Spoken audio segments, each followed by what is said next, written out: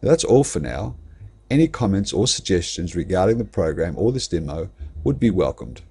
Thank you for your time. My name is Joseph Barrington Lew, and I wish you all trading success.